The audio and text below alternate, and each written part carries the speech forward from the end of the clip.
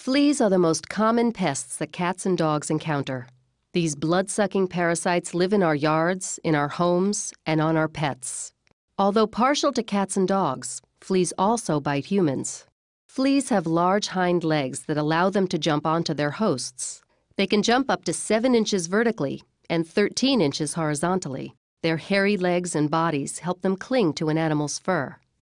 The flea's diet consists entirely of blood. When a flea bites an animal, its saliva causes irritation and itching.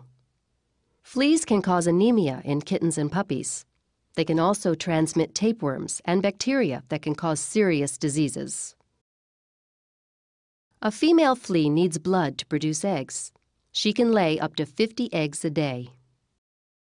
Flea eggs fall off the animal into the surrounding environment, your carpet, furniture, bedding, etc.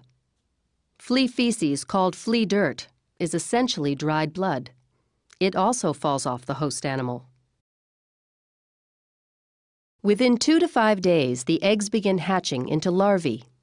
These whitish worm-like creatures prefer damp, dark places, and their bristly hairs help them attach to carpet and furniture fibers. The larvae feed on the flea feces and other debris.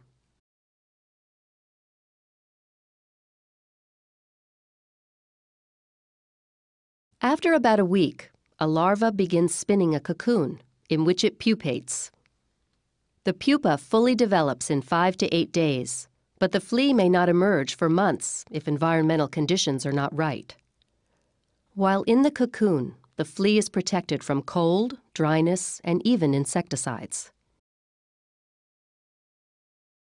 When a flea senses a nearby host, it emerges from the cocoon hungry for blood, and the cycle begins again.